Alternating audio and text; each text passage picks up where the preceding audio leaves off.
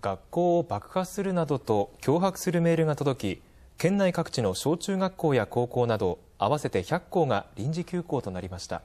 予告時間を過ぎても異常は確認されず警察はメールを送った人物について捜査しています。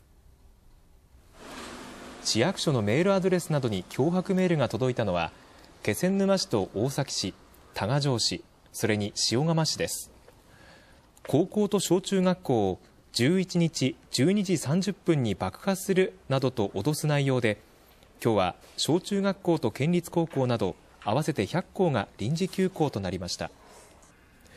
このうちの一つ大崎市の沼部小学校では朝から教職員らが教室や校舎の周りに不審物がないか点検しました。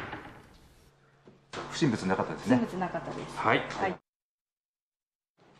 予告時間を過ぎても県内すべての学校で異常は確認されませんでした。こちらの学校では悪質な行為は絶対にやめてほしいとしています。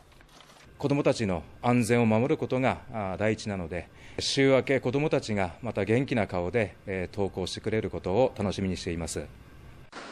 またメールには市役所や駅に有毒有害なガスを散布するといった記述もあり塩釜市と多賀城市は念のため1時間ほど市役所などを閉鎖しましたが異常はありませんでした。県内では同様のメールが相次いでいて警察はメールを送った人物について威力業務妨害などの疑いで捜査しています。